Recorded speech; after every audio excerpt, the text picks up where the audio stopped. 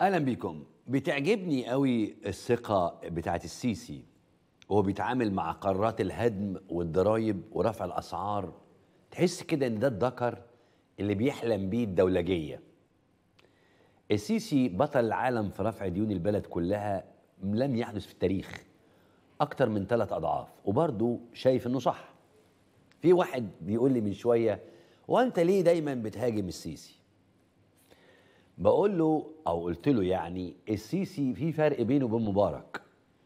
مبارك كان بيحكم صحيح وكان طاغيا لكنه كان في مسافة بينه وبين وزاراته. السيسي مشكلته إن هو اللي متصدر إن الدماغ دي مش دماغ وزارة دماغه هو. وإنه هو شايف إنه مفروض يتسمع كلامه حتى لو هد كل بيوت مصر حتى لو شرد الناس. النهارده بيقول على الهوا أنا بقول على الهوا هو قدام الشعب أما أقول منطقة تهد يبقى تم إخلاقها يتم إخلاقها. اسمع. يبقى الكلام ده بين المحافظة وزارة الإسكان والكهرباء ووزارة الداخلية دورها أنا بقوله على الهوا. لما نيجي نقول المنطقة دي يتم إخلاقها يبقى يا دكتور مصطفى يتم إخلاقها. وبالمناسبة إحنا عمرنا ما هنخلي حد دون أن نعوده لا ما بيحصلش دون أن نعوضه دي. عشان بس نبقى إيه رايقين كده مع بعض وإحنا عندنا شهود على كده يعني. يعني بالدليل خلينا نشوف الناس اللي انت بتقول دون أن نعوضه ده هم اللي اشتكوا إن بيوتهم اتهدت وما أخدوش تعويضات لغاية دلوقتي أو أخذوا تعويضات هزيلة ما تناسبش اسعار السوق أنا مش هتكلم مني أهو الناس أهي. والله العظيم تم نزع وهدم بيوتنا من أكثر من سنتين وللآن لم نستلم التعويضات. أحمد. صحيح تهدي البنى وتدي له دراهم معدودة. والله يا ريس ما خدنا تعويضات لحد دلوقتي إلا السكنة بس اللي خدناه عدينا من سنة ولسه بيقولوا لسه. حق انتفاع ده تعويض يعني ده أكبر ظلم. نرمين بتقول حسبنا الله ونعم الوكيل. كله كلام في الهوا وكذب. مستحيل تعوض بيت أو شقة أو شقة أي حد وليه تخرج الناس من بيوتها أصلا؟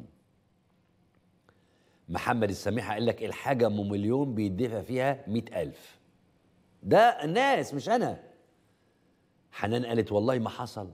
هدم نادي اللاجون في اسكندرية ومحدش أخد حتى فلوسه اللي دفعها جلال قال لك التعويض لا يزيد عن 60% من قيمة ولا تصرف إلا بعد دوخة ووقت.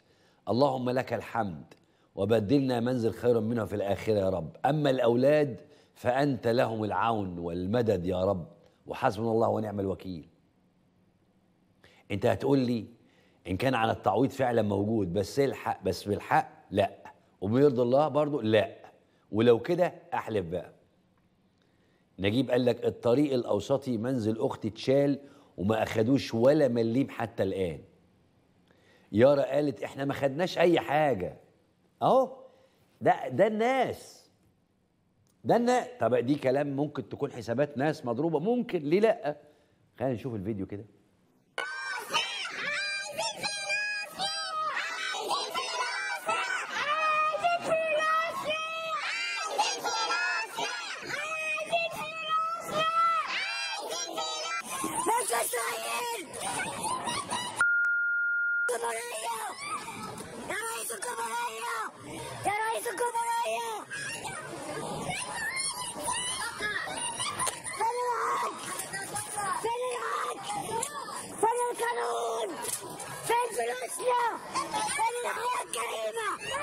استغيث بمحافظة البحيرة. يا جماعة عايزين حل.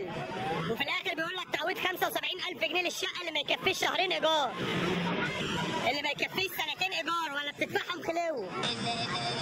التعويضات اللي فرضينها للناس قليلة جدا بالنسبة لحجم الناس ظلم لأن حجم الشقق يعني قال لك وبتعويض وبقه اتملى كده بالكلام. لا ما حصلش.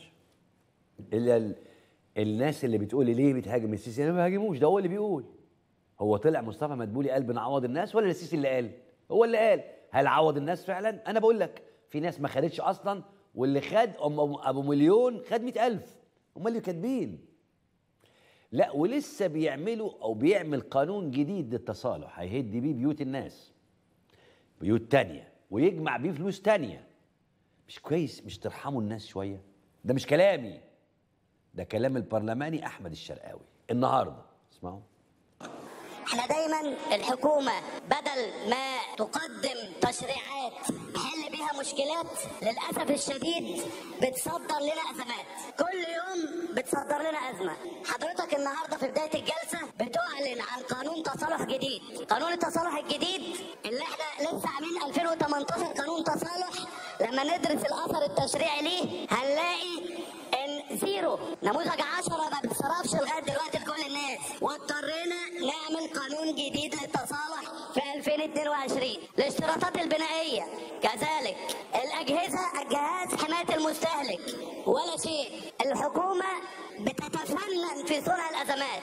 النهارده وأنا بتكلم وأزمة الفاتورة الإلكترونية المهن الحرة بتعاني من تطبيق قانون الإجراءات الضريبية وقانون القيمة المضافة لأنهم ما درسوش ولا حللوا المجتمع ده كويس. ولا فئاته بيتكلموا النهارده على إلزام محامين في نجوم وقرى بتقديم فاتورة إلكترونية وتسجيل. ما يعرفوش إن ده في حد ذاته بناء عليه.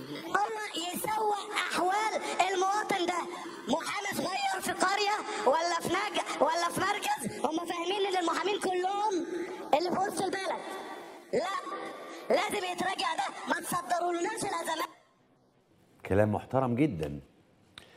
السيسي اللي مش عارف يحل أزمة الدولار اللي وصل ل 35 في السوق السوداء بيدور على بيوت الناس شوية بقانون للتصالح وشوية بتهديدات بهدمها عشان خاطر الطرق.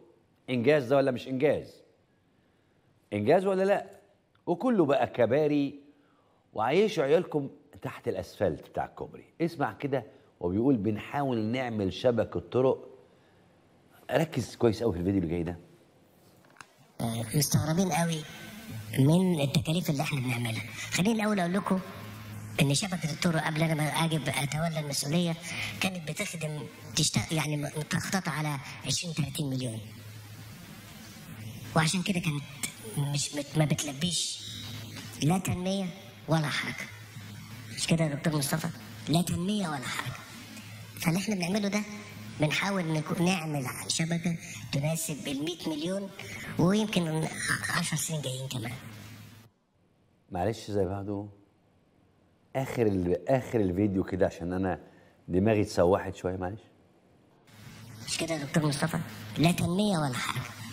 فاللي إحنا بنعمله ده بنحاول نعمل شبكة تناسب ال 100 مليون ويمكن 10 سنين جايين كمان. إزاي بقى؟ خلي الصورة الله يخليك. إزاي؟ إزاي بتعمل شبكة طرق لل 100 مليون تناسب 10 سنين كمان جايين؟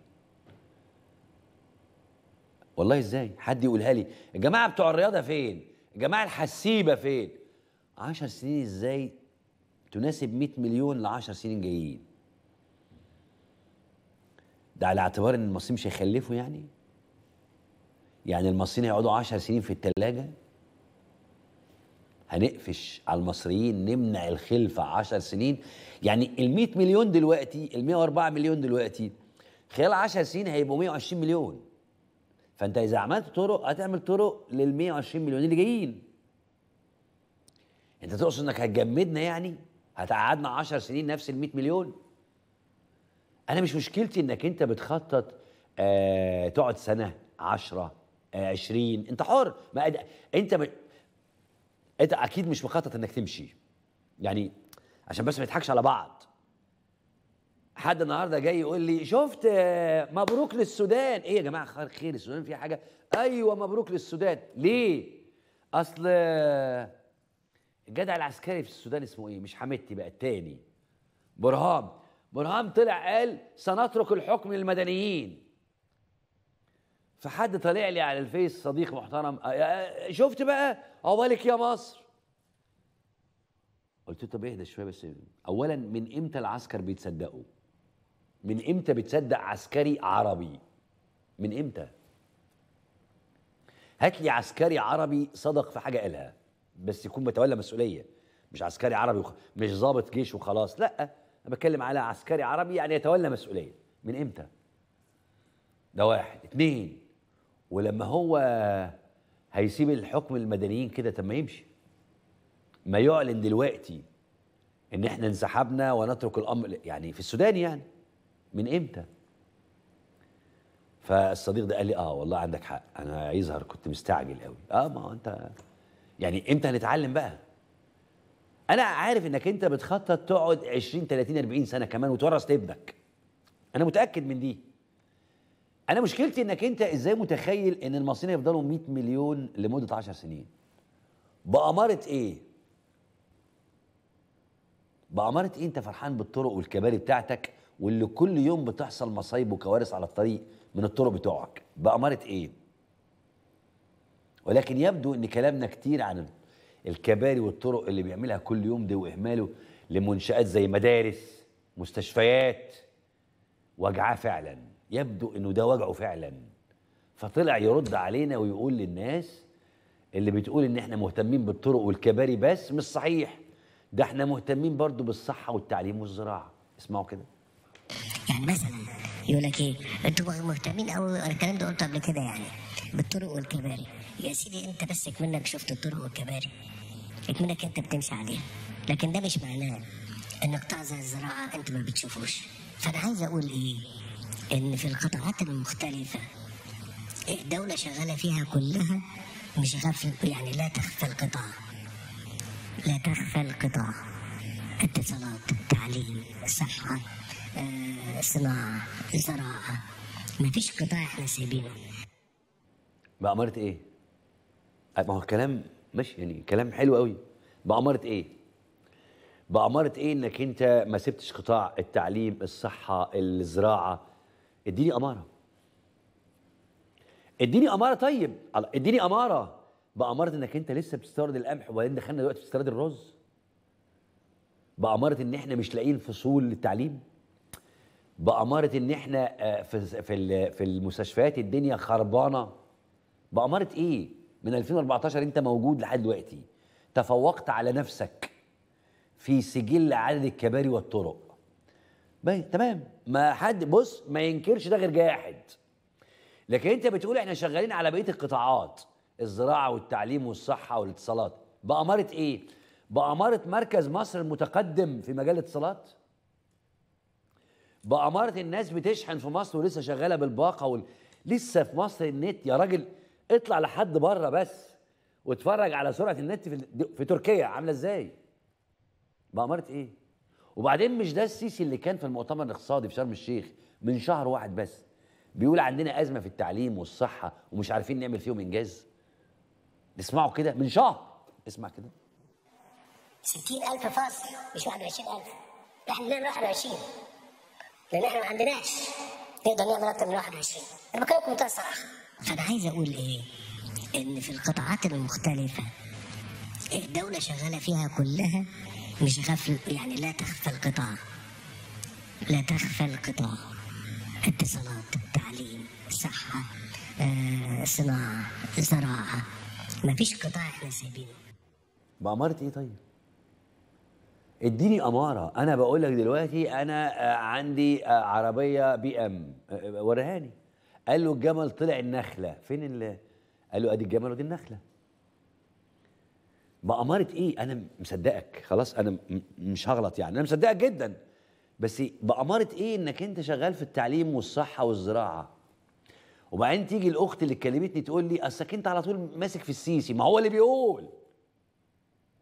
هو مصطفى مدبولي يتكلم. والنبي سمعها علي الكلمتين الاخرين بتوع السيسي دول. هو اللي بيقول. أنا أجيب لك منين كلام؟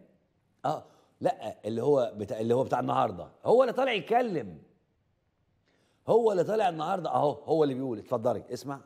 يعني مثلا يقول لك إيه؟ أنتوا مهتمين قوي أنا الكلام ده قلته قبل كده يعني. بالطرق والكباري. يا سيدي أنت بس اكمنك شفت الطرق والكباري. اكمنك أنت بتمشي عليها لكن ده مش معناه ان قطاع زي الزراعة أنت ما بتشوفوش.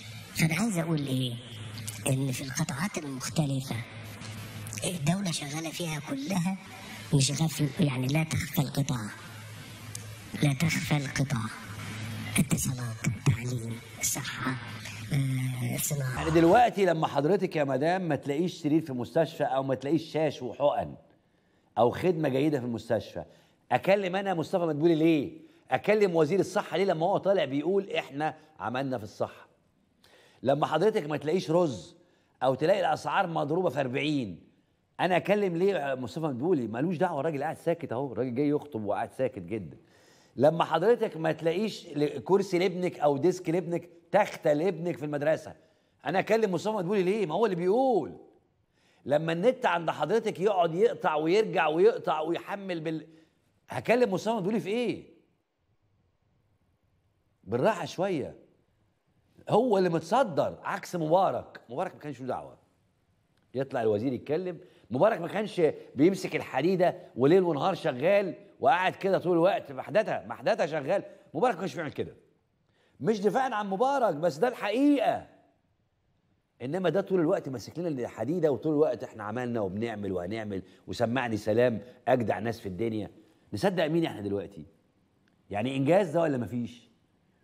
بس عشان أفكرك بقى أفكرك بالتعليم دلوقتي والصحة بأمارة إيه الدولة بتعمل عليها في الت... بتشتغل في التعليم والصحة؟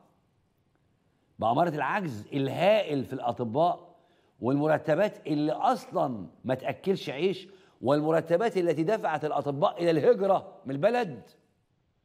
بأمارة المستشفيات اللي ما ينفعش الناس تتعالج فيها أصلا ولا مؤاخذة حتى الحيوانات. أهو 10000 طبيب غادروا مصر في ثلاث سنين.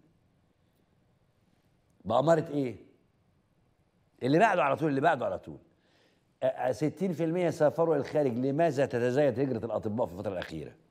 اللي بعده على طول مستشفيات خطرة مصريون ضحايا الإهمال الحكومي اللي بعده على طول بأمارة إيه؟ بالصور انتشار القطط ومناشير الغسيل داخل مستشفى حماد بني سويف يا عم سيبك من ده بأمارة إيه؟ طب التعليم اللي عندك اللي أنت عملت اللي عليك فيه تقدر تكلمنا عن عجز المدرسين وصل لإيه؟ وصل لدرجة إن كنتوا بتعينوا معلمين جدد وشغالين يعني مش عارفين تعينوا قصدي وشغالين في الطرق الكباري. بأمارة المباني المتهالكة؟ ولا الطلاب اللي ماتوا في المدارس أول السنة دي؟ المعلمين لدينا عجز أكثر من 300 ألف مدرس. بأمارة إيه؟ سور مدرسة المعتمدية وفاة تلميذتين في أول, أيام الدراسة. بأمارة إيه؟